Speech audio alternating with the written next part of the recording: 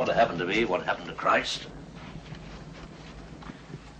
I don't want fanciful artists depicting me with red hair or a beard or any nonsense like that.